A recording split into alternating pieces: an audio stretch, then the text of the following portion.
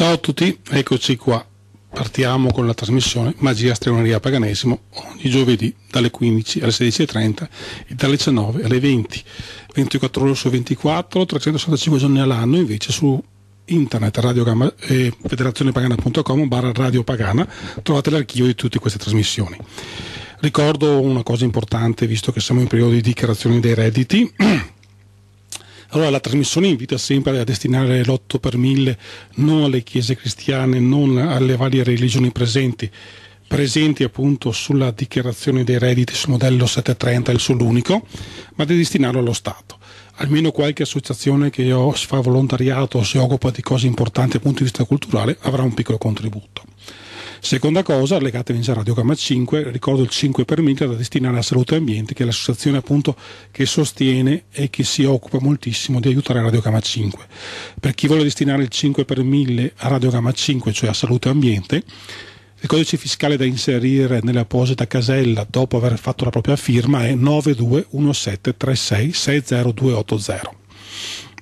Allora, io saluto gli ascoltatori, Claudio non c'è, Claudio appunto si è preso un giorno di ferie e le lasciamo visto che il tempo è un po' instabile, peccato per lui. Ricordo che c'è stata appunto tenuta il rituale di Beltane nell'Alto Vicentino, è stato organizzato un po' di fretta e furia, un po' fra impegni vari, però siamo riusciti quest'anno, dopo molti anni che non veniva celebrato Beltane, perché ricordo che l'ultimo Beltane che abbiamo celebrato, noi come Federazione Pagana abbiamo scelto di festeggiare soltanto gli equinozi e i solstizi, non perché ci siano questi soltanto come riti, ma perché per un problema più pratico, concreto, in cui è un po' difficile avere tempo per molte cose, e allora abbiamo deciso solstizi ed equinozi. Quest'anno, visto che i pagani, i Wiccan sono sempre più numerosi, sono sempre più presenti, sempre più diffusi nel territorio, si è riuscito a organizzare questo piccolo rituale. La cosa che ci è dispiaciuto è che il luogo per il rito era stato devastato prima da qualcuno con una ruspa. Era stato sistemato una bella zona con piante, erano stati creati appunto dei percorsi con delle pietre, c'era dell'acqua, c'era cercato una spirale nell'acqua e qualcuno ha pensato bene di demolire questo spazio, di andare a fare un atto di vandalismo e vedremo cosa ne sarà di questo tipo. Eh, metteremo il video su internet in cui si dimostra la differenza tra prima e dopo. Questo posto veniva chiamato dagli amici Vica che lo frequentavano, non solo loro, perché era una piccola associazione che se ne prendeva cura, che aveva lasciato uno spazio anche appunto ai Viccan per celebrare i loro riti e appunto la piccola Avalon. E io vi posso dire che nonostante la distruzione il posto era veramente meritevole e veramente bello. Perciò ci sarà anche da ricordare questo e da tenere informati, però Beltane è stato festeggiato, il rituale è riuscito perfettamente e benissimo ed è stato veramente un rituale intenso e bello. Allora, parliamo di cose importanti. Noi sappiamo che molte volte le persone considerano la mitologia come un qualcosa di secondario, di fantasioso, di inventato, di fantasia. Anche se fosse così non ci sarebbe niente di male perché la mitologia ha sempre una dimensione importante in quanto comunica, fa sentire, percepisce un mondo. Però sappiamo che la mitologia si basa su una cosa concreta, cioè si basa sull'esperienza individuale di tutti, sulle persone che vedono e percepiscono il mondo. E allora noi abbiamo sempre la tendenza di sentire che le religioni monoteistiche sostengono, dicono di avere un fondamento storico. Sappiamo che questo fondamento storico non c'è. In realtà quello che è un fondamento storico sono gli, i culti degli antichi, sono le loro città, sono i loro racconti. E uno dei racconti più conosciuti, data la nostra cultura, è quello della fondazione di Roma da parte di Enea. Cioè, dico, scusate, dall'inizio della storia romana da parte di Enea, perché poi Romolo fu quello che materialmente tracciò il solco. Allora, eh, molti pensavano e continuano a pensare che questo racconto mitologico sia pura fantasia. Però Virgilio aveva descritto alcune zone del percorso di Enea e dopo ricerche archeologiche la Repubblica, giovedì 26 aprile 2007, e la prova archeo- ehm, che l'eroe mitologico qui approdò in cerca della terra promessa. Castrum, ecco il porto che accolse Enea. Gli archeologi nel Salento, il tempio di Minerva descritto da Virgilio. Appunto Virgilio diceva che partendo, mh, partendo appunto dalla Grecia, perché aveva fatto tutta una peregrinazione nel mare Egeo partendo appunto da, da Troia, Il primo tempio che, vist, che vide, che percepì, che partecipò, fu appunto quello di Minerva. E facendo delle ricerche finalmente anche questo tassello di documentazione storica ci porta a vedere che il racconto di Enea è un racconto storico, fondato, concreto, che non è soltanto un'invenzione una fantasia. E questo appunto ci dimostra come gli antichi non erano soliti inventare, ma erano capaci di raccontare con precisione, con dedizione, con cultura, quello che nell'antico accadeva. E allora questa nuova scoperta ci dice che la guerra di Troia, che Enea, che Virgilio, forse non sono solo persone che hanno inventato, non sono solo racconti, ma che in realtà rappresentano qualcosa di più profondo. Ed è anche bello che mh, mm, il tempio di, di Minerva torni appunto a essere scoperto e che venga appunto riportato alla luce una storia importante, un, un elemento fondamentale nella nostra storia, nella nostra cultura e che dimostra quanto antica sia il nostro mondo e la, nost- e la nostra civiltà. Ma c'è un altro segnale che è importante. Allora è uscita una guida un po' particolare. I turisti della devozione e le pietre che curano censiti 423 comuni, dall'acqua che aiuta la vista alle colonne che promettono fertilità. E anche in questo caso, quando si parla appunto di luoghi sacri, quando si parla di percorsi, quando si parla del genere del luogo, questa ne è un'ulteriore dimostrazione.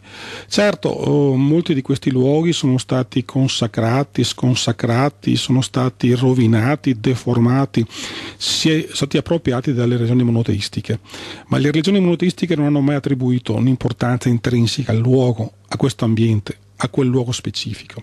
Hanno sempre detto che era soltanto un'appropriazione, che era solo una rappresentazione. Io ricordo che diversi anni fa il vescovo di Lu Cattolico di Lourdes disse che chi andava a Lourdes pensando che fosse l'acqua a guarire era un pagano.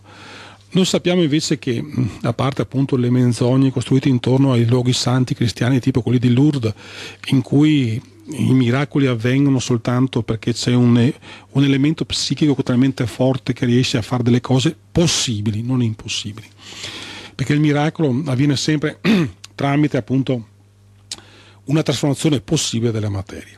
Bene, il fatto che comunque si pensi di censire, di catalogare, di creare una guida a questi luoghi, anche se deformati o inseriti all'interno di contesti religiosi cristiani, è già un fattore positivo e ci permetterebbe appunto di andare a capire, di andare a comprendere come i nostri territori siano ricchi di cose.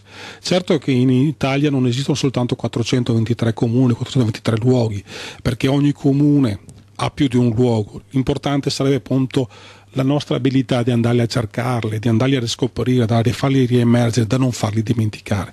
Ma questo appunto è un impegno per tutti. Bene, queste erano due notizie che dal punto di vista pagano sono importanti proprio perché danno la direzione che si può andare da un'altra parte, che un'altra visione del mondo è possibile ed è realizzabile ed è concreta.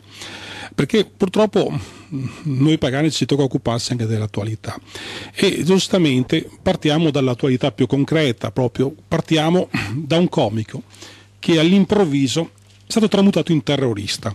È una cosa incredibile che un comico diventi all'improvviso un terrorista.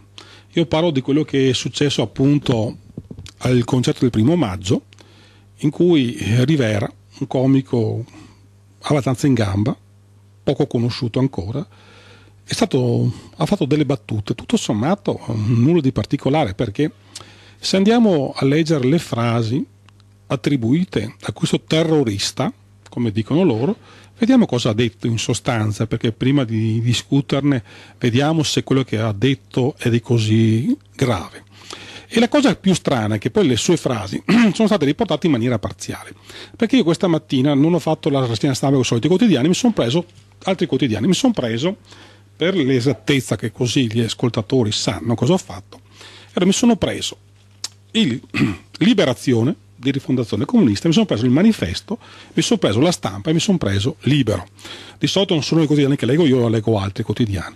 Bene, allora, tutti questi quotidiani, anche quelli che teoricamente dovrebbero essere più, diciamo, anticlericali o meno favorevoli alla Chiesa hanno omesso una frase che poi diremo quale e forse gli ascoltatori la capiranno subito. Allora, l'unico quotidiano che ha riportato queste frasi è il Libero. Libero riporta queste frasi, attribuite appunto frasi belle, poi tra l'altro anche veritiere, chi le può contestare? Non frasi di un terrorista. Il Papa ha detto che non crede all'evoluzionismo.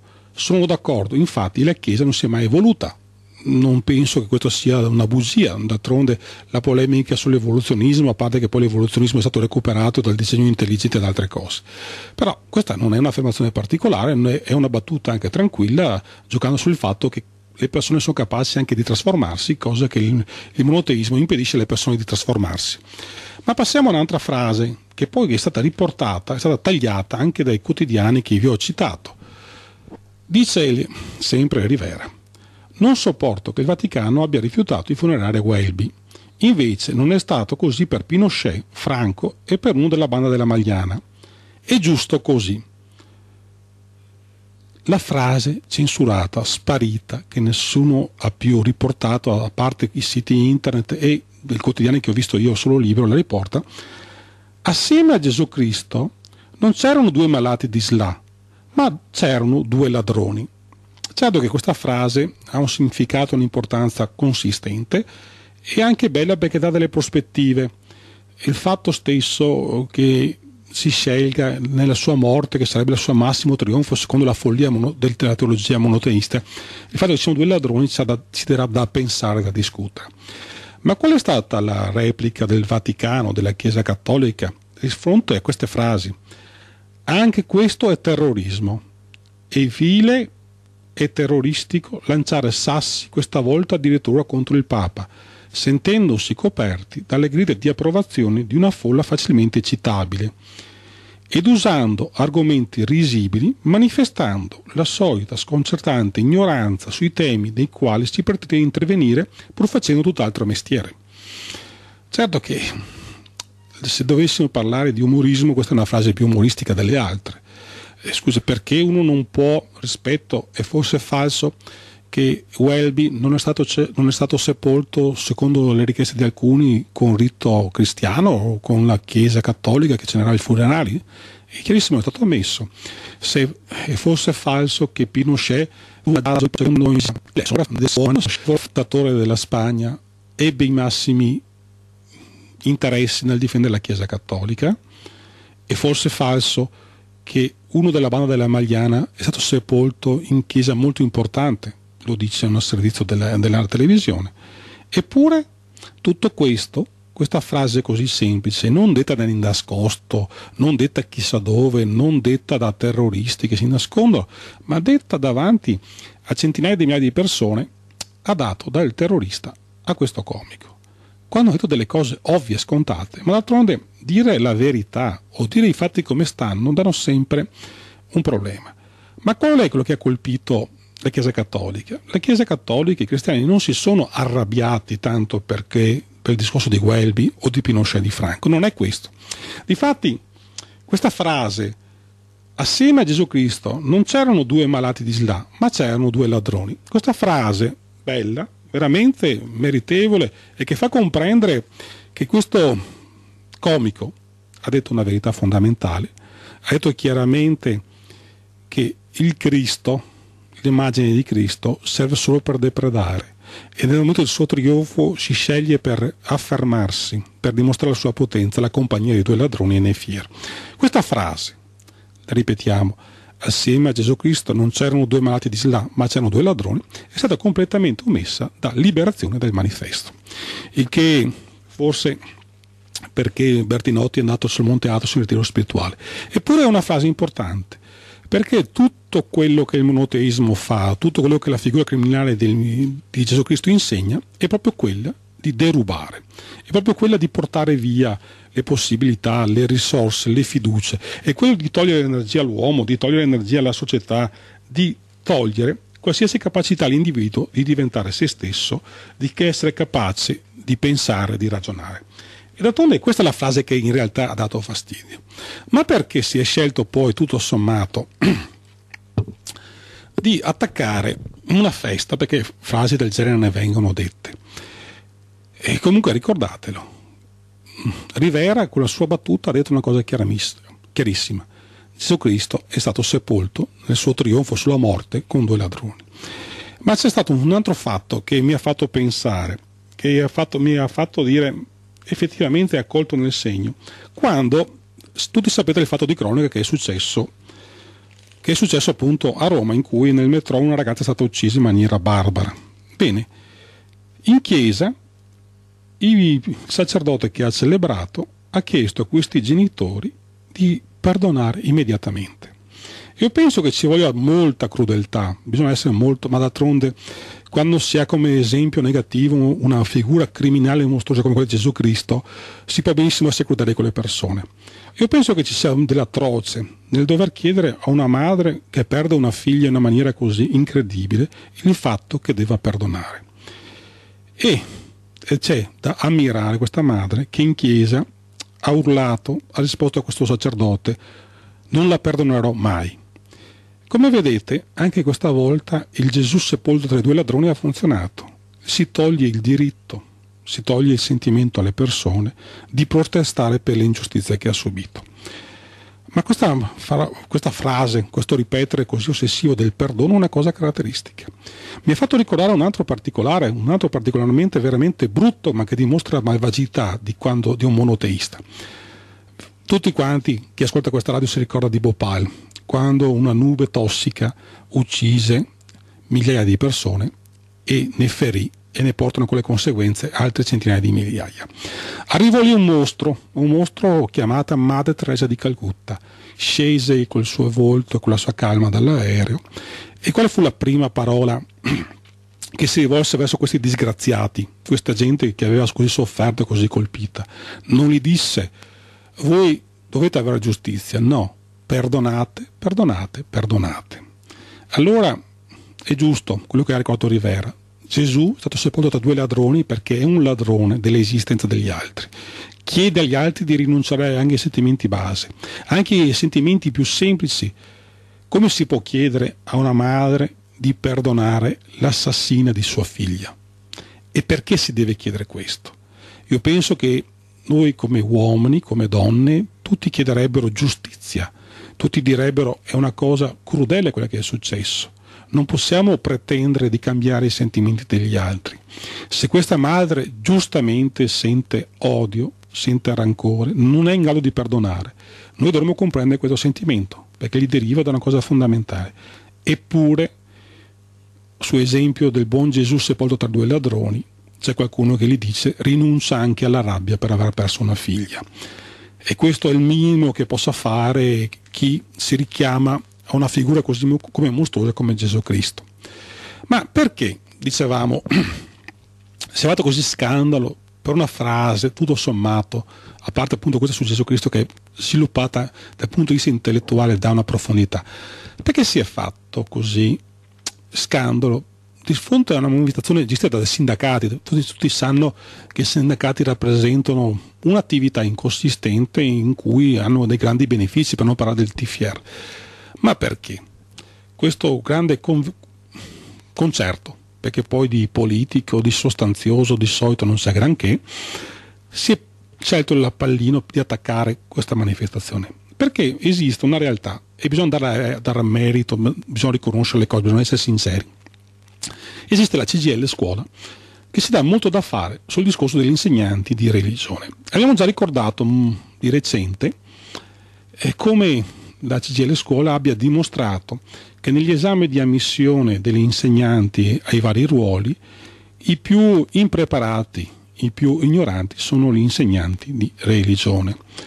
Ma cos'è successo che può aver scatenato eh, la volontà di ripicca? Prendo, io formulo un'ipotesi logicamente, però come sapete essere maligni il più delle volte si azzecca le cose. Allora, Corriere della Sera, mercoledì 25 aprile. La CGL e i professori di religione non diano voti agli studenti. I gruppi cattolici abbiamo diritto a valutare i ragazzi. Lettera sindaca- del sindacato a tutti i docenti, preparatevi a battaglie legali. Allora, cosa è successo?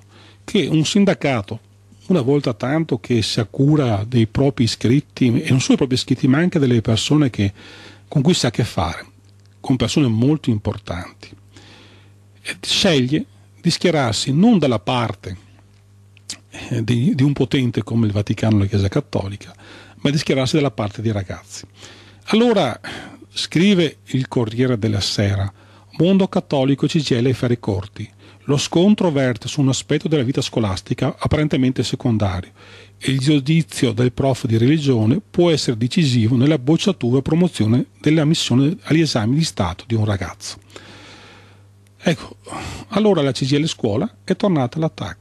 E si è tratta da fare in questo senso. E ben fatto e va ringraziato un sindacato quando è capace di comprendere che gli insegnanti di religione non sono migliaia di persone che sono lì a stradare il posto, ma che fanno danni verso i bambini, verso i ragazzi. Allora, questo particolare in cui ci dice no, una persona non può essere valutata, non si può dare una valutazione a uno studente che sta formando la propria cultura sulla religione, perché la cultura non è religione monoteistica. Il monoteismo insegna l'ignoranza e la fede, il monoteismo è l'esaltazione sempre di ogni ignoranza, di ogni fede e di conseguenza di ogni intelligenza.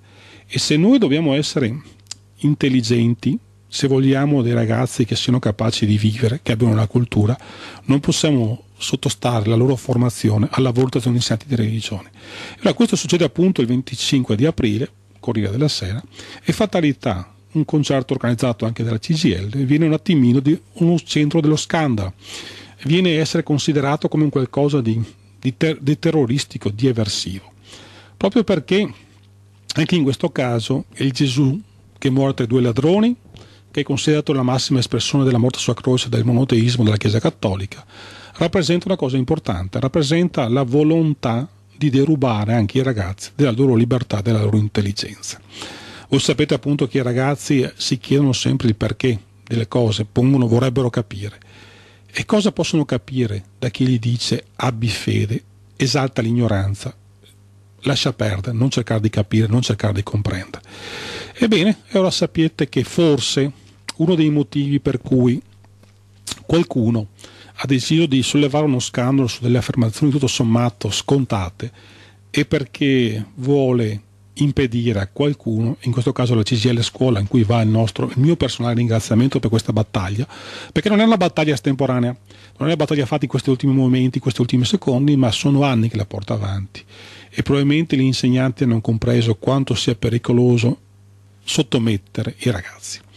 Bene, perciò cercate di capire da cosa può essere sorto questo fatto, da questo collegamento, da questo clamore perché qualcuno dice delle cose vere. Ma pensate che la mania di accusare gli altri di essere terroristi è una mania che ultimamente si è scatenata da parte di tutti quanti della Chiesa Cattolica e dei vari monoteisti. Leggo dalla Repubblica del 24 aprile 2007 aborto, l'anatema del Vaticano è il terrorismo del volto umano. Sai, qua si arriva al punto della cosa più semplice, la cosa più simpatica per loro, e darà del terrorista a qualsiasi cosa. Ma d'altronde ricordiamo che l'unico terrorismo che esiste è il terrorismo che il Dio di tutte le ragioni monoteistiche fa, ma perché non si vuole che gli altri siano all'altezza di quel Dio. Ma puoi dare del terrorista a persone che difendono l'aborto, cioè il diritto delle persone, delle donne di decidere della loro esistenza, sul fatto che le donne possono scegliere l'aborto anche per, un, per non creare sofferenza al mondo, perché chi è dalla parte del monoteismo reputa sempre le donne infedeli, indegne e secondarie. E questa è la caratteristica di tutte le religioni che sorgono dalla matrice monoteistica, il quello di considerare sempre male una donna. E quando si comincia a discriminare una persona soltanto per la sua sessualità, soltanto per le sue caratteristiche, Qui siamo veramente in un campo veramente di atrocità incredibile.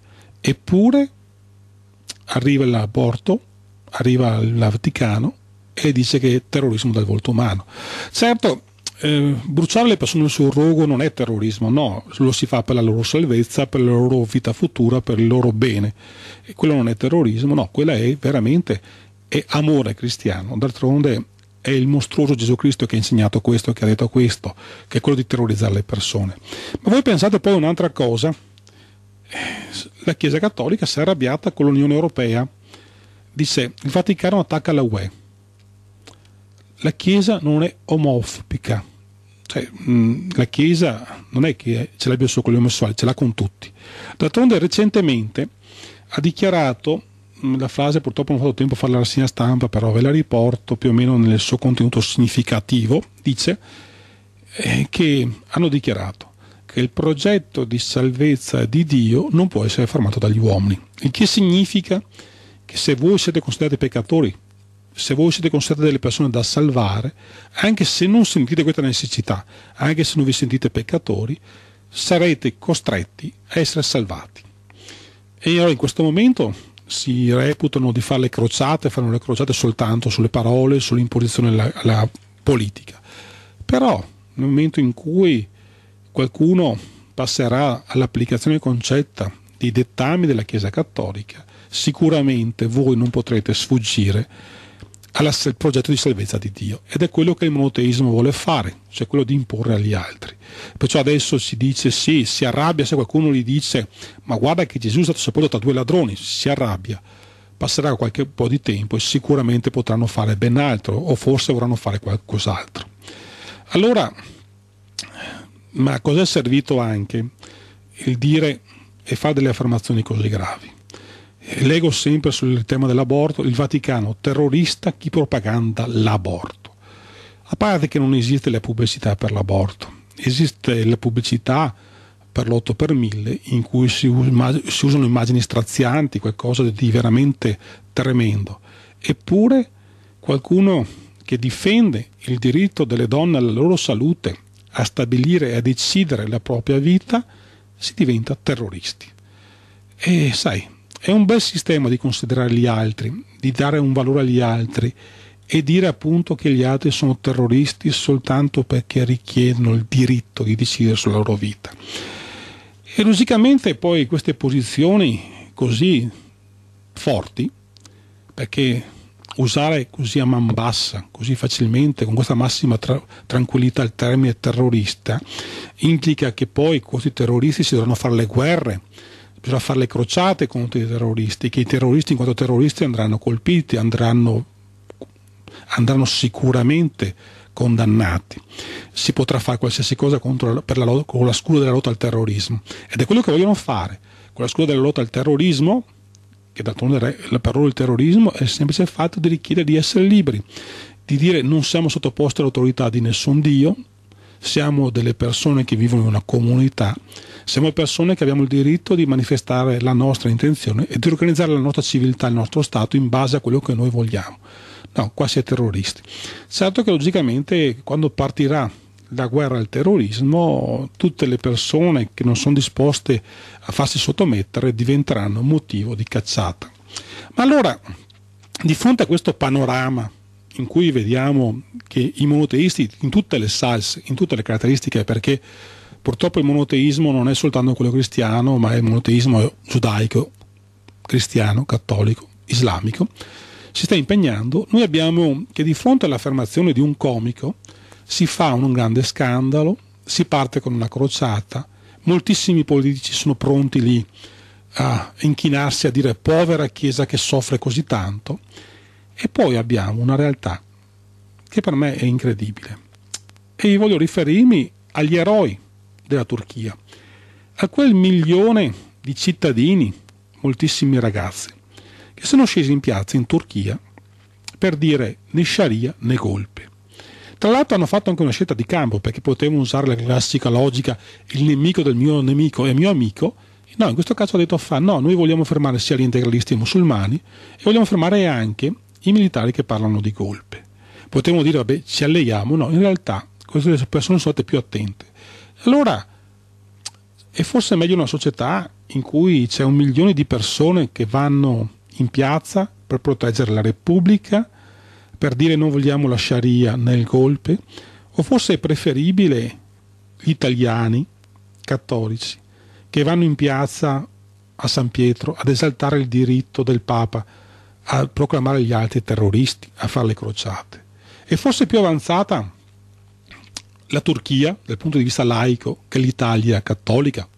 E forse più avanzata appunto, eh, ricordate che fare lotta politica in Turchia, impegnarsi in questo senso non è certo facile. Eppure è più avanzata, è più europea, è più laica la Turchia in cui le persone scendono in piazza e dicono noi non vogliamo la legge islamica. E sarebbe bello che in Italia ci fosse la disponibilità delle persone a scendere in piazza a ricordare i diritti di tutti i cittadini, perché quando si difendono valori, principi laici, non si difende il singolo, ma si difende un'intera comunità, si difende ogni individuo che abbia diritto di dire la sua opinione, la sua visione del mondo che non diventi impositiva. Era a vedere queste foto di giovani turchi che sfilano in piazza, che sfilano in un paese non certo in cui è facile farlo, allora è forse preferibile questo milione di cittadini e questi ragazzi che vanno in piazza, che dicono noi vogliamo essere laici, a chi si piange per tre persone uccise perché andavano in giro a vendere la Bibbia. Ora, quelle tre persone che andavano in giro a vendere la Bibbia. Certo, sono persone che hanno subito una cosa atroce, una fine atroce, ma andavano in giro a vendere la Bibbia in Turchia per chiedere la sottomissione alle persone, per dire alle persone che sono dei peccatori che si devono salvare. E forse è migliore questa gioventù turca che ha il coraggio di scendere in piazza e di dire noi non vogliamo neanche i militari, noi vogliamo la nostra libertà, vogliamo essere noi che decidiamo di essere liberi. E allora è meglio un giovane turco che va in piazza per la laicità contro il golpe, contro i militari, o è meglio i tanti cattolici che correranno il Family Day per sottomettersi alla volontà, al dominio e alle volontà di imporre agli altri una normativa, di togliere i diritti agli altri. E ora a questo punto c'è da pensare che il monoteismo è uguale in tutte le parti del mondo, che il monoteismo islamico, nella sua follia, non è diverso dalla follia del monoteismo cattolico o cristiano che ci ritroviamo. Allora, che succede? Che come vedete non è che esista uno scontro di civiltà, non esiste uno scontro tra un Oriente e un Occidente, esiste una guerra che si fa qui, che si fa in Turchia e si fa in molte altre parti del mondo, che è la lotta tra i diritti delle persone, degli individui, tra i diritti dei popoli, delle comunità, i diritti dei singoli, i diritti di ogni persona, di una propria civiltà e chi gli vorrebbe imporre la fede, chi gli vorrebbe imporre il dominio, chi gli vorrebbe imporre la sottomissione. Perciò speriamo che anche in Italia ci siano milioni di cittadini disposti a difendere i propri diritti, perché quando si parla di difendere un concetto di laicità, non si parla di imporre agli altri un qualcosa o di difendere gli altri dei peccatori, ma di difendere i propri diritti e di riconoscere agli altri la possibilità di essere liberi. Allora, ed è, io voglio proprio risaltare questo fatto della Turchia, perché i quotidiani qualcuno ne ha dato uno spazio. Pensate appunto che anche eh, la Repubblica ha scritto Turchia, Erdogan non si piega, alta tensione tra islamici e laici. E anche in questo caso, come vedete, un monoteista, uno che si richiama a una visione monoteistica, non molla. Pensate appunto, sempre che scrive anche addirittura il Corriere della Sera del, 20, del 26 di, 28 di aprile, Turchia, i laici fermano Gul. Gul sarebbe il presidente islamico che vorrebbero eleggere in Turchia. In Italia quanti laici saranno pronti e disposti a fermare le follie di Ratzinger? Io spero che siano tanti. Bene, sono le 15.50, attacco le linee telefoniche, chi vuole intervenire 049 700 700 e 049 700 338. Poi c'è un'altra cosa che di attualità italiana che vorrei appunto ricordare e di cui ne voglio parlare. Sì, pronto? Ciao. Ciao. Ciao. Bene. Attento? Sì. Io non ti hai preso i giornali. Sì, beh, li prenderò domani perché proprio andavo di fretta, ma ho voluto fare una prova su quotidiani sì, che dovevano essere laici per capire questo. Questi ho preso comunque canonici, insomma, i titoli Sì, ma la, che fra- la frase qui dice che Gesù è stato appeso tra due ladroni, Sì, esatto, sì. cioè, è, è stata, è stata ommessa da, da quasi dappertutto.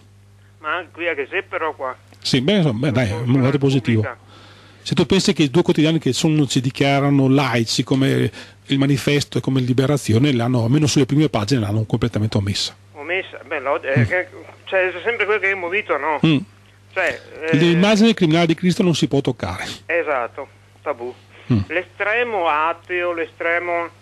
Eh, Dio, Sì. non si può toccare perché eh, se tocca i due poli classici estremi si toccano. Ecco qua che ora... Mm. Hai capito come Sì. diventa un cerchio che ora è estremità e si tocca. Gli fa vedere così, insomma, eh, come che se come che se puoi vedere, gli fa vedere così, eh, due estremità. Eh, mi non vuoi incise perché sono comunista, mi non incise perché so eh, Bertinotti. Eh, Vedi, le persone, se tu devi fare delle scelte, dici: Ma tu pensi che Gesù Cristo sia un mostro o che sia una brava persona? Questa è la discriminante. Cioè, non, si, Esatto. non si deve trattare di discutere se la Chiesa è brava, buona, cattiva, simpatica o antipatica.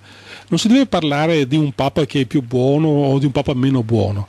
Perché io voglio sempre ricordare, sai, si parlava del diritto verso la propria famiglia. sì, sì, sì. Ma c'è un Papa, Paolo IV, che disse fa, se mio padre fosse eretico lo raccoglierei legna per bruciarlo. Cioè, cioè, vai a bruciare tuo padre perché è eretico. Posso dire, vabbè, è stato un criminale, è stata una persona. Cioè, ma perché è eretico lo brucerei sul rogo. E questo è l'es- è l'esempio di famiglia cristiana che vogliamo dare, insomma. E dopo, sì, ben dopo che sempre su, su cosa però eh, Rivera ha detto che sì, mi, io ho criticato, no? Mm. Sul so, so Corriere che ha scritto, io ho criticato, mi sono cattolico, io ho detto no, lo- Mm. io mi sento cattolico, Sì, ma poi non cosa, cattolico- ma cosa ha detto, cosa ha detto- cosa ha detto di così forte? Cioè, cosa ha detto di così forte e scandaloso? Appunto, appunto non, non, cosa ho detto? Eh, che pa- farsi tirare sassi di Rio, cioè, Cioè, tutto tirare qua. sassi, insomma, non, non so insomma cosa che ha detto. Cioè, sta una battuta comica, insomma, non, Sì, cioè, ma, eh, comica, se ha non- detto, la, ha detto la verità, cioè, nel senso... Che la verità, cioè, non, non, ha- non ha detto un- una, c'è una, una, come dire, una falsità che può essere denunciata, tu capito? Sì, ma non è ad esempio cioè, il Papa è un po' birichino, non ha detto neanche questo, cioè, nel senso poteva essere una Sì, battuta. no? appunto, eh, eh, ha detto, eh, eh, non ha neanche fatto funerale a Welby, io ho fatto a Pinochet, poi dirlo, l'ho detto fin ieri, cioè, se lo diceva a 100 anni non succedeva niente, Mm. capito? Se a 100 anni non succedeva niente, solo perché era in piazza, lui alla piazza, capito? E si era dimostrato come nudi, il re è nudo, capito?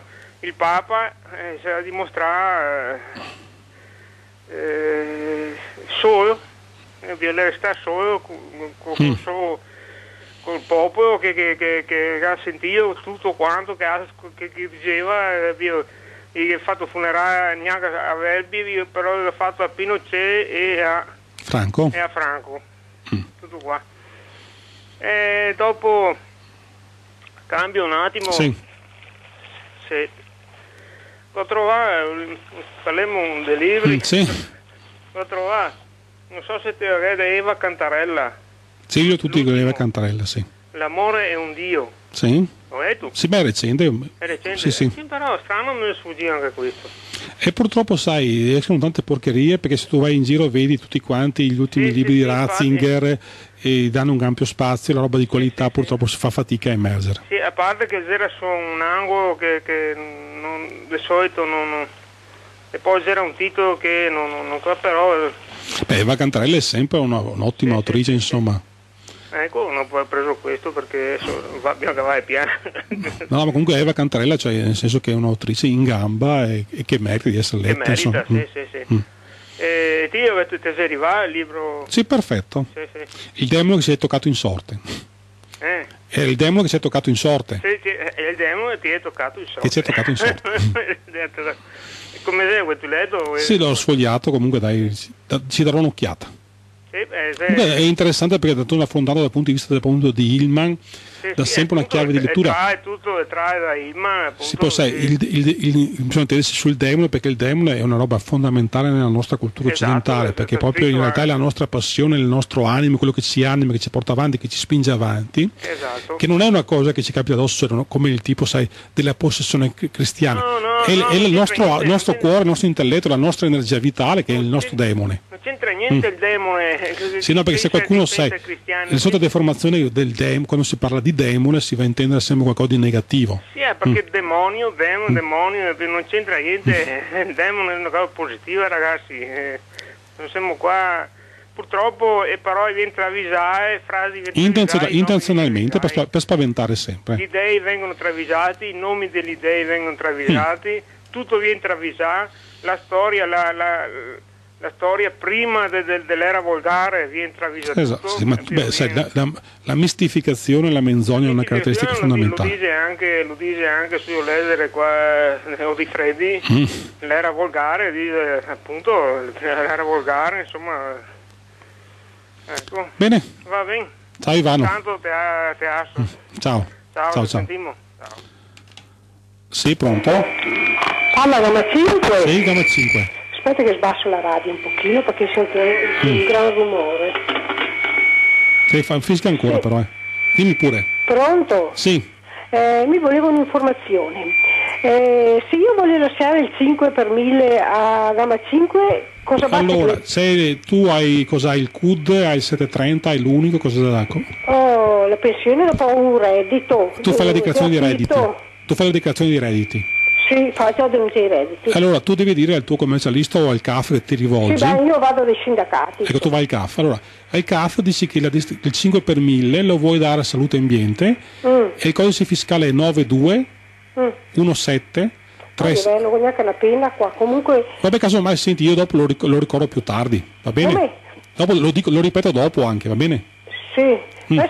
Tele- vabbè, devo andare giovedì prossimo, faccio in tempo per Sì, sì. preparo la carta. Posso lasciare tutto il 5 per 1000 a gamma 5 se Sì, voglio. cioè tu dici salute ambiente, cioè tu dici... Assoluto solo a gamma 5. Sì, sì, cioè tu dici io voglio... Va dist- bene. Comunque forse l'ora telefono magari, perché adesso non ho la penna, devo fare le scale, devo andare Vabbè, non ti preoccupare, caso mi verso le 4 e mezza lo, ripo- lo ricordo. Poi. Sì, poi la capisco anche male un po'. Ah, Va bene. Bene, ciao. Buongiorno. Ciao. Allora, queste beh, informazioni tecniche necessarie e doverose. Ora, tornando appunto all'attualità, alle cose che stavamo trattando e dicendo, se sì, pronto? Pronto? Sì? Ciao Eh, Guido, Ciao, sono Guido da Campo San Piero. dimmi tutto. Ecco, niente, eh, ho constatato che ogni volta che succede un fatto di sangue, in occasione dei funerali della vittima, i preti ne approfittano per farsi belli, invitando i familiari che sono ancora sotto shock per il dolore patito, non lo hanno ancora metabolizzato, invitandoli al perdono. Cioè, mi pare che sia una intrusione nella sfera eh, dei sentimenti eh, vigliacca Sì? perché approfitti di uno stato di debilitazione psicologica per imporre le tue idee basate sul perdono. Dove trova giustificazione il perdono? I preti ti dicono tu devi perdonare, mi pare che sia così, eh? Mm? perché anche il Cristo ha invitato al perdono. La frase emblematica, se uno ti colpisce su una guancia, tu gli devi offrire l'altra, è il massimo del perdono, anzi lo inviti a insistere, È il massimo del masochismo? ecco, una, una forma di masochismo, esatto. Poi ho guardato cosa si intende per perdono. Il perdono è formato da rafforzativo per Mm? e dono, Sì. è il massimo donativo che tu puoi fare Sì. a una persona. E qual è il massimo dono? Quello che tu avresti il diritto di rifarti rendendo occhio per occhio, dente per dente, O chiedendo giustizia? Rinunzi e generosamente eh, gli fai questo dono. E questo può essere anche positivo perché può darsi che interrompa una faida, perché i familiari di quelli che a loro volta vengono co- colpiti per rappresaglia può darsi che la stimino o eccessiva, eccetera, e a loro volta innes- innescano un, processo che non ha fine. Sì, ma, sai, ma, ma, qui che, ma, qui sono genitori che chiedono giustizia, che è un'altra questo, cosa. potrebbe essere positivo, però il perdono deve nascere spontaneamente. Tu devi lasciare i familiari della vittima, come quelli di quella povera ragazza che è stata uccisa con, Mm. con un'ombrellata in un occhio, no? Sì. Devi lasciare che siano loro che, non so, ri- ripensandoci, metabolizzando questo dolore immenso, a un dato momento dicano o vadano dal prete in cui hanno, secondo me sbagliando, fiducia e dire padre non, non mi trovo bene, non vivo bene, oh, conservo odio verso quelli che hanno distrutto la mia vita e hanno ucciso la figlioletta tanto amata. Cioè deve essere un qualche cosa che parte dalla persona offesa e non, e non che parta dal prete. Cosa Ma, ma vedi, ma vedi Guido, ma ti sembra giusto che di fronte al dolore di una madre o di un Eh, È padre, uno sfruttare. cioè, ma ti sembra giusto come- chiedere, cioè dire, secondo te una madre può perdonare, un padre può Sì. perdonare o lasciar perdere il fatto che gli abbia ucciso il figlio? Il perdono è una bella cosa ed è legittima, ma deve partire spontaneamente da parte della persona che ha subito offesa, non da parte di un prete estraneo Che te la che impone? specula, che specula della Sì, ma poi queste persone, cioè, tra l'altro- della debolezza che ne deriva dalla- da, da un'offesa patita per, per imporgli certe idee tratte da un libraccio che non- non è in grado di capire la natura umana perché sembra che capisca soltanto chi è Dio e basta. Poi il Dio che loro dicono amore, eccetera, è lo stesso Dio che non ha perdonato ad Adamo ed Eva un peccato commesso poi non volontariamente perché sono stati creati peccatori in potenza, no? Mm? Eh, e gli ha inferto morte, eh, sofferenze a non finire, è un Dio vendicativo. Poi non basta, il diluvio è stato mandato dallo stesso Dio che, eh, schifato del- della sua creazione, non trova di meglio che scaricare il suo disappunto su degli innocenti. Da dove sta qui il perdono? Si predica il perdono da parte di un prete che, che ha come datore di lavoro un assassino vendicativo. Ti, ti sembra... È la follia, è follia. Come, come può educare la religione al meglio l'uomo? La religione non sempre educa. peggiore, Esatto. sempre peggiore, questo volevo dire. A me me- me- me dà- mi fa schifo quando sento un prete tutto addobbato, di solito gli ha una faccia da, da- da maiali, i preti, tutto addobbato di paramenti che luccicano in rispetto alla, alla povertà predicata da Gesù Cristo per chi ci crede. Esatto. Ecco. Che poi- Eh, che poi, eh, sai, eh, non è ci che- non è che- permettono- non è che è vero questo. Questa intrusione vigliacca Mm. nella sofferenza altrui. Esatto. Ecco, questo mi fa schifo e basta. questo volevo dirti. Sono Guido da Campo Mm, San sì, sì, ciao. ciao, ciao, Guido. No, difatti appunto ho detto chiaramente che qua si chiede sempre a qualcuno di rinunciare anche alla giustizia perché nonostante non si chiede di vendicare la vendetta o di farsi giustizia con le proprie mani, si chiede giustamente che di fronte a un dolore così enorme il diritto di avere giustizia e che questo non succede più e invece neanche questo si può disporre proprio perché non si ha nessuna sensibilità verso il sentimento, verso il cuore, verso la sensibilità delle persone che più soffrono. Sì, pronto? Pronto? Sì, velocissimo. Buongiorno, sono velocissimo. Io voglio parlare del, del matrimonio che quando c'è, si sposa, se non c'è il figlio, non c'è matrimonio, neanche la sacralota mette matrimonio se non ci sono rapporti. Per cui il figlio è in matrimonio, ogni figlio c'è un matrimonio.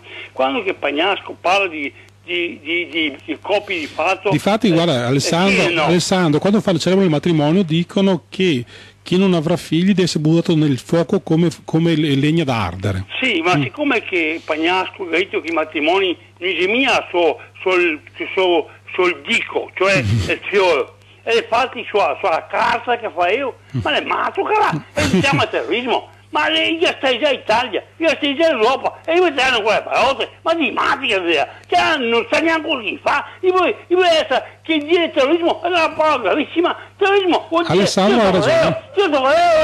Grazie, grazie Alessandro. Grazie, grazie. Effettivamente sai, Alessandro ha perfettamente ragione quando dire che i cristiani vengono considerati dall'antichità folli, perché proprio portano alla follia. È una follia sia che contamina le persone, sia che contamina la società. E di conseguenza in questa follia si va avanti, ma d'altronde stesso il grande Agostino, così esaltato da Ratzinger, diceva chiaramente che il cristianesimo la sua forza è la follia. Sei pronto? Pronto? Sei pronto? Mamma mia, che carità, Francesco. Dimmi tutto. Dimmi, ma a un certo punto il Cristo mica era ebraico, era di Innsbruck, era Sì. un allegrone. Mm. Secondo te era triste o un allegrone? Oh, sai, era un comico di prima categoria.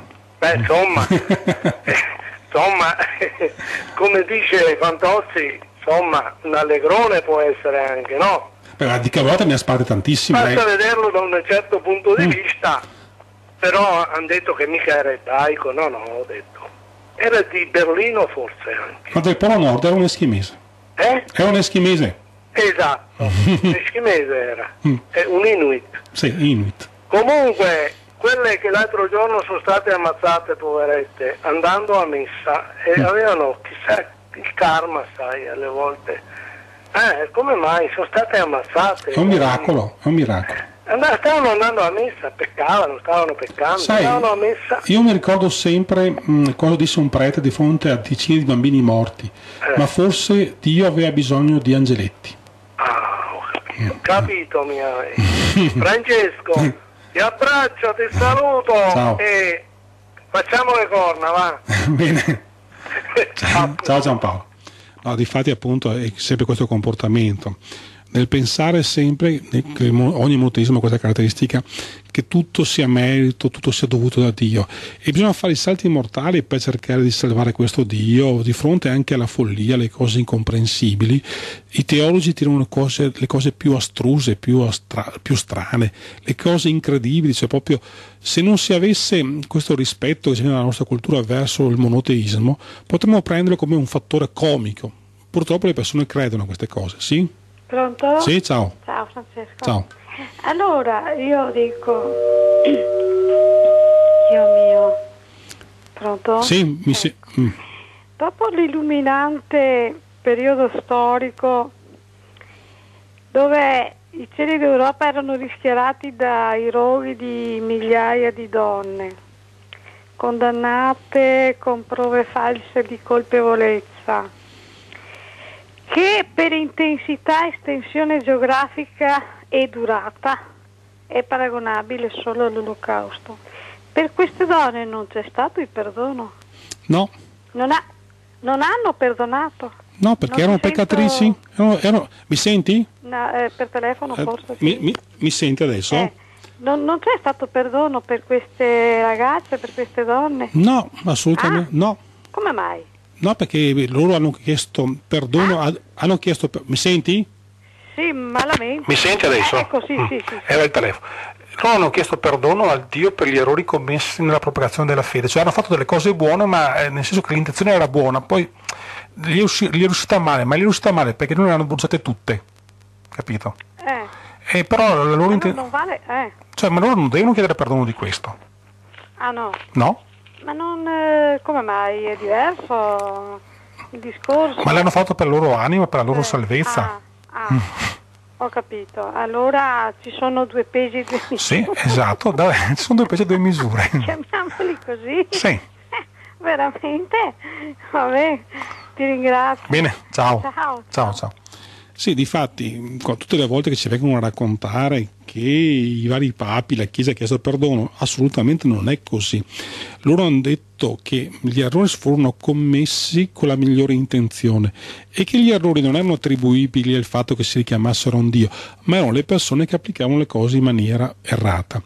Ma poi anche questa, le cose applicate in maniera errata non è una forma di scuse, e l'hanno detto chiaramente, rientra nel discorso della strategia ecumenica, nella strategia eh, diciamo di propagazione, perché se le persone tendono a non sottomettersi, bisogna, se non si ha la forza, se non si può bastonarle, se non si può bruciare, bisogna in qualche maniera riportarle all'ovile.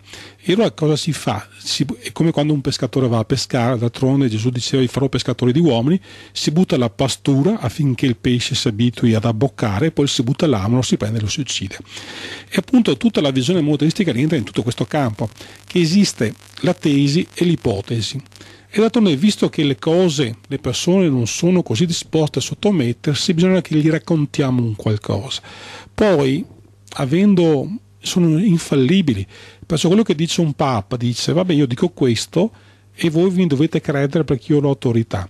È come la dichiarazione che ha fatto Ratzinger sul recente libro sul pazzo di Nazareth e sulla figura criminale di Cristo, diceva mi potete criticare, ma nella vita, nella cultura è normale che qualsiasi cosa possa essere sottoposta a critico, possa venire criticata. No, vi concedo dal potere che ho, dice lui, vi concedo la possibilità di criticarlo. E già dover affrontare le cose in questa maniera vi fa comprendere come se la prospettiva con cui i, tutti i monoteisti, monoteisti ricordiamo cristiani, ebrei, cattolici e musulmani, hanno l'intenzione di affrontare le cose. Prima di tutto vi chiedono la sottomissione, poi vi chiedono il rispetto. E cos'è per loro il rispetto? Quel, per me il rispetto è quando con una persona discuti, accetti la persona, però non devi accettare le sue idee ma rispetto per loro significa che non puoi neanche criticare le loro idee, non puoi dirle no, quello che state dicendo è una cosa atroce, no, la vostra è follia, no, perché questa per loro è mancanza di rispetto. In realtà, quando dicono rispettatemi, vi chiedono di sottomettervi ed è questa la loro intenzione. Sì, pronto? Sì, ciao Francesco Ciao. Adriano. Ciao. E vogliamo parlare delle banche. Puoi parlare delle banche? Le banche sono controllate dalla Chiesa. Che hanno delle buone partecipazioni azionarie, quello sto sì. Prego? Hanno delle buone partecipazioni azionarie e hanno una buona presenza. No, diciamo che sono controllate dalla Chiesa, tutte. Più Beh, sai, quando, quando Ratzinger è venuto a Verona era anche perché c'era in corso una grossa fusione bancaria da fare a Verona. Sì, certo. Però tutti questi sistemi in cui viene trattato in un modo il, po- il- il poveraccio, diciamo, Sì? a quale magari neanche cambiano un assegno da, da 50 euro, a meno che tu non abbia delle conoscenze all'interno, all'interno della banca e invece il riccone, no, per dirla così, beh, quello può avere tutte le agevolazioni di questo mondo. Secondo me la Chiesa ha responsabilità gravissime in questo. Ha preparato una cultura di questo tipo, certo. Secondo me anche il discorso top rate, eh, cioè gli interessi diciamo, sui massimali più alti, più alti, prime rate, cioè, sono tutte delle ingiustizie alla fine create dalla- da questi religiosi che vogliono creare appunto, in quanto hanno dell'interesse nel farlo, Sì. un sistema in cui chi è meno abbiente, quindi ha più problemi nell'affrontare quella che è appunto eh, tutta una serie di, di problematiche quotidiane sia Beh, vedi, Adriano- castigato, messo in ginocchio, mentre chi invece ha può non solo, eh, tra parentesi, Adriano, evadere, mi senti? non facendo qui un discorso di, di politica. Adriano, mi senti? Sì? Eh, io ti voglio ricordare ad esempio una cosa che pochi hanno ricordato. Proprio in questo periodo si parlava del corso della lotta contro la schiavitù e si disse che uno dei maggiori, se non mi ricordo il nome, era un, era un protestante inglese.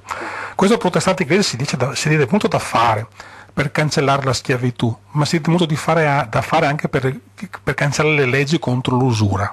Sì, sì, sì. Cioè, capito? Perché vabbè, liberava gli schiavi ma poi li sottometteva con l'usura.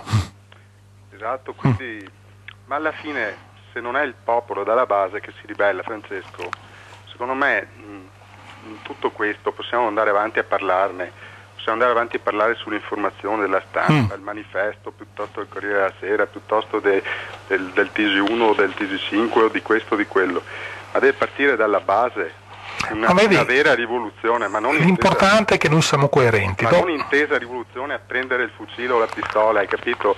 Perché Stalin alla fine, eh, eh, togliendo tutti i beni della Chiesa in Russia e, e facendo anche fuori quei preti corrotti, vescovi, cardinali che fossero stati, alla fine non è successo niente perché la maggior parte della gente poi è ritornata in quello che è il marcio del sistema. Deve cambiare Una- la cultura delle persone. serie- La cultura, esatto, ma io trovo che, sia, che siamo tutti impotenti di fronte a questo, a questo sistema diciamo, di corruzione estrema. Qui mh, veramente, cioè, io penso che la Chiesa e tutti i beni che ha la Chiesa e tutti i privilegi, uno Stato democratico dovrebbe comunque mh, prendere questi beni, queste opere d'arte eh, che ci sono eh, non solamente chie- nelle chiese, ma eh, diciamo, anche tutti, tutti i parchi, le grandi ville di proprietà, eccetera, e portarle allo Stato. E in questo modo, cioè, proprio al, al, massimo questi religiosi dovrebbero te- prendere, prendersi cura di, di, mantenere, che ne so, eh, i libri contabili, cioè, i, i, registri, tenere in ordine, che ne so, queste, queste opere d'arte al massimo ma non continuare a fare della violenza discriminatoria in questo modo. Cioè questo io non riesco ad accettarlo. L'unica roba da fare è ognuno pensare a se stesso e cercare di fare il massimo affinché questo, questo sistema corrotto possa quantomeno vacillare così, eh, un minimo più in bilico di quello che è attualmente, che è una cosa vergognosa a mio avviso. Sì. Comunque l'importante è che noi facciamo quello che noi possiamo fare e che siamo coerenti almeno in qualcosa. Troppo non possiamo fare nulla per la società, ma possiamo fare no, solo per noi nel nostro piccolo. Questo è perché questi continuano a mettere in ginocchio i bambini. Sì è la cosa più terrificante quella dei bambini, certo. dell'insegnamento religioso nelle scuole, negli la asili. La politica in questo ha delle gravi responsabilità, soprattutto la politica della sinistra, a mio avviso, che continua ad andare a braccetto con questi personaggi. Ma guarda che tutta la politica, no. perché se tu, se tu, pensi cosa significava essere liberali nell'Ottocento, cosa significa essere dei liberali adesso? Attualmente io parlo di politica in senso di sinistra radicale, mm. in quanto vedo che sono gli unici che comunque rispetto a quello che è il mio ideale, quantomeno mi vengono un minimo vicino a quello che penso io di ridistribuzione. Guarda, io, io, non ho nessuna fiducia nella, in tutta io la politica. Io non ho fiducia nei, nei politici, io ho fiducia in un ideale. Qual è l'ideale che si avvicina di più alla ridistribuzione del reddito, della ricchezza del capitale, che attualmente è una cosa scandalosa in Italia mm. non solo? il fatto appunto che tutti hanno, continuino a dare forza a, a, a certi politici di centro, di destra e non a fare invece la politica seria all'interno degli schieramenti di sinistra, rompendo i coglioni, scusa il termine, a quelli che pur eh, rappresentando il cosiddetto popolo, non solo comunisti, eh, no, e, e invece continuano a fare la politica in maniera vedi, vedi, demagogica non, esi- fanno, vedi, fanno i loro vabbè, non, non, non, esi- non, esistono idee, non esistono l'idea, l'idea deve essere esistono persone, esistono, perso- esistono, popolo, esi- es- esist- esistono, per- esistono persone, esistono individui e si valuta sempre le persone al di là della propria idea, della propria posizione.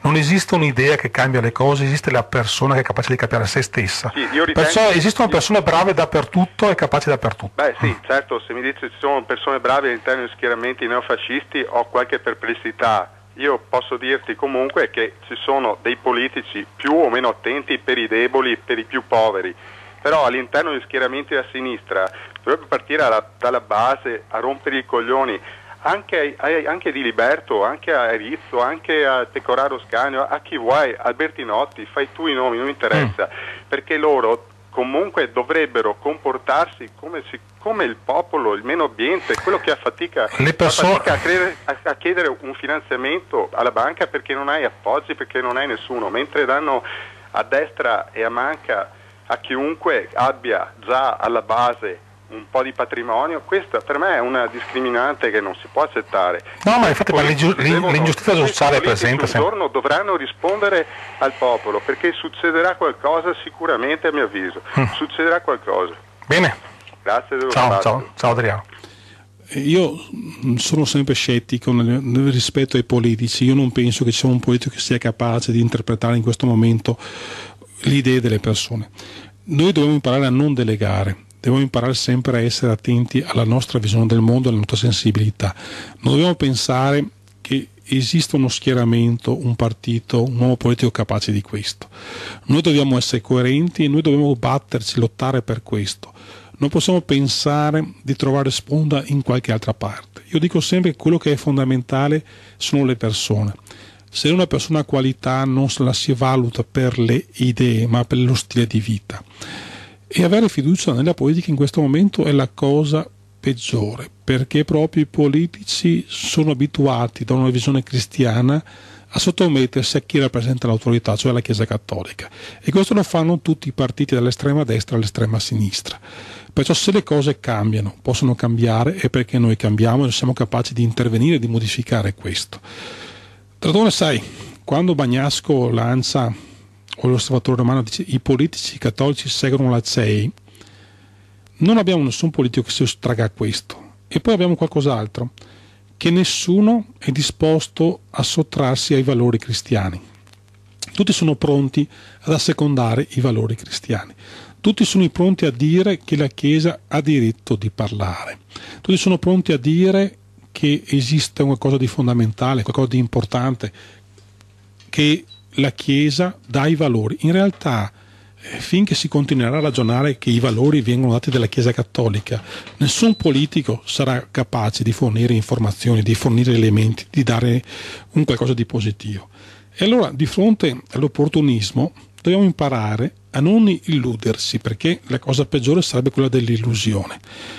Allora, quando qualche politico può avere delle dichiarazioni che ci sono vicine o ci possono sembrare piacevoli, cerchiamo di capire se abbia il coraggio della radicalità, cioè della capacità di dire, di andare al, al fondo dei problemi, perché è inutile che noi affrontiamo un aspetto secondario, un aspetto marginale e non affrontiamo il nocciolo. E questa è una cosa che noi dobbiamo fare sempre. Non dobbiamo prendersela con la Chiesa perché è ricca e povera, non ce la dobbiamo prendere con il Vaticano perché ha soldi o perché ne ha troppi. Dobbiamo capire qual è il meccanismo culturale, qual è il meccanismo ideologico, qual è il meccanismo che porta le persone alla sottomissione. E allora le persone non sono sottomesse perché esiste una Chiesa che ha soldi o che controlla le banche. Le persone sono sottomesse perché da 2000 anni esiste una cultura della sottomissione, da 2000 anni c'è una figura criminale come quella di Gesù Cristo che permette a qualcuno di sottomettere gli altri. E questo è l'elemento fondamentale più pesante. Noi non dobbiamo preoccuparci di denunciare le ricchezze o le incongruenze della Chiesa. Noi dobbiamo dire che le persone sono fregate, sono sottomesse, sono fallite perché c'è un'immagine che gli viene proposta in tutte quante le salse è l'immagine negativa, mostruosa di Gesù Cristo. È quella appunto che frega le persone perché si viene a raccontare che aveva un messaggio rivoluzionario, che diceva delle cose belle, poi in realtà se vi andate a leggere le dichiarazioni di questo folle, e folle appunto è al di là che non è mai esistito, ma è l'immagine che si è raccontata, tutti di fronte a questa immagine così perversa, così feroce, non hanno il coraggio di dire no. L'immagine di Cristo è un qualcosa che non mi appartiene, è qualcosa che non sento, un qualcosa che è pericoloso. Nessuno ha questo coraggio, questa volontà. E allora vogliamo affrontare i problemi in maniera radicale, in maniera chiara, o vogliamo limitarsi ad affrontare quello che ci viene preparato e configurato? Non esiste destra, centro, sinistra, non esiste qualcos'altro che possa dividerci. Ci possono dividere due schieramenti. Se noi siamo per la sottomissione o se siamo per la libertà. E allora, quando facciamo una scelta, dobbiamo capire come si sottomettono le persone. Certo esistono gli strumenti bancari per sottomettere le persone, esiste la polizia per sottomettere le persone, esistono delle leggi, ma i principi con cui si fanno le leggi liberticide da dove vengono? Dalla follia del politico che le fa o perché qualcuno ha seminato duemila anni di monoteismo, duemila anni di una figura mostruosa come quella di Gesù Cristo? Se noi non siamo capaci di comprendere questo, che nella nostra società anche gli, gli anticlericali, anche chi si dichiara contro la Chiesa, ma le dici cosa pensi di, dell'immagine di Gesù Cristo, lo andrà a dipingere come un rivoluzionario, come un liberatore dei popoli, in realtà sono tutte menzogne. Tutto quello che di negativo la nostra cultura occidentale ha prodotto in questi ultimi duemila anni non è la Chiesa cattolica, non è chi credeva appunto nei suoi valori della Chiesa cattolica, ma quelli che pensavano in un Gesù buono. E finché noi non cancelleremo questo, pensate anche al discorso appunto del fatto che ai bambini gli viene insegnato di amare questo mostro che è Gesù Cristo, gli viene insegnato che è morto per, per i propri peccati, per il riscatto. Pensate il ti viene proposto l'immagine positiva di un presepe, in realtà è più rivoluzionario, se volete essere rivoluzionari, o è più dirompente, o è più sovversivo, dire a un bambino non fare il presepe, non guardare Gesù bambino, non pensare a questo. È più positivo questo, cambia di più la società, la cultura, il fatto di dire guarda che l'immagine del Gesù bambino su quel presepe, in realtà lì c'è un mostro, lì c'è un criminale che insegna a, rinunciare alle cose, ti insegna a rinunciare a te stesso, alla tua intelligenza, ti insegna solo sottomissione. E quando vi propongono le immagini della Chiesa, tutti sono pronti a ribellarsi, a dire ma io non accetto la Chiesa ma quando qualcuno vi propone l'immagine di Gesù Cristo siete sempre pronti, nella maggioranza delle persone, ad accettare questo. E finché non si sarà liberati da questo, finché non si comprenderà che l'immagine di Gesù Cristo è l'insegnamento più perverso che abbiamo avuto negli ultimi duemila anni. Ricordatevi sempre la parabola delle mine, in cui Gesù Cristo dice prendete quelli che non volevano che regnasse su di loro e sgozzateli davanti a me. Questo è la base dell'insegnamento cristiano, non dell'insegnamento della Chiesa. Perciò impariamo a liberarci da questo mostro. Nel momento in cui saremo prendere questa figura criminale di Cristo e di allontanarla da noi, dire per noi non vale niente, non ha significato, non ha potere, non ha nessun elemento, per noi non ha detto nulla di positivo. Se noi dobbiamo comprendere il mondo, lo possiamo comprendere tramite la nostra intelligenza, tramite la nostra abilità, tramite la nostra cultura, tramite la nostra ricerca. È in questo campo che noi dobbiamo essere coerenti è in questo campo che noi dobbiamo agire. Non possiamo pensare che le cose cambino perché gli altri cambiano. Dobbiamo essere noi a cambiare. Noi non dobbiamo preoccuparsi degli altri. L'importante è che noi non siamo sottomessi e che noi dobbiamo assolutamente in tutti quanti i casi dimostrare che lottiamo per la libertà. Soltanto facendo questo le cose potranno cambiare. Non preoccupiamoci che esistano migliaia di politici pronti a correre dietro le sottane di Ratzinger, perché Ratzinger è soltanto una manifestazione del potere di dominio che il, il monoteismo ha sviluppato negli ultimi duemila anni. E questo monoteismo non ha valenze positive, non è migliore il monoteista cristiano o cattolico e inferiore a quello islamico o quello ebreo. Sono tutti monoteisti e il loro dominio e lo scopo della loro attività è quello di imporsi sull'uomo e quello di negare la vita. Perciò noi che viviamo in ambito occidentale impariamo a dire che quando le persone vi propongono l'immagine di Gesù Cristo e delle sue parole è soltanto per ingannarvi, per sottomettervi. E solo se saremo capaci di rifiutare questa immagine mostruosa che è l'immagine di Cristo, noi potremo essere liberi. Poi se qualcuno sceglierà di sottomettersi, sappia che lo può fare, l'importante è che non venga a imporlo agli altri. Per il monoteismo, ricordatevi, non vi potrà mai lasciare in pace se c'è una lotta che noi dobbiamo combattere e che combatteremo sempre e finché sarà presente nella nostra civiltà il monoteismo noi saremo sempre in pericolo, perciò ogni, ogni giorno, in ogni momento noi dobbiamo appunto lottare per essere assolutamente liberi e soprattutto dobbiamo capire dove sta l'inganno. E l'inganno con cui le persone vengono sottomesse adesso non è il potere della Chiesa, ma l'immagine criminale di Gesù Cristo. Bene, purtroppo siamo al fine, non c'è più tempo, io vi lascio in compagnia degli altri conduttori, ci sentiamo questa sera dalle ore 19 alle ore 20 assieme a Detro che si parlerà del mondo celtico. Ciao a tutti.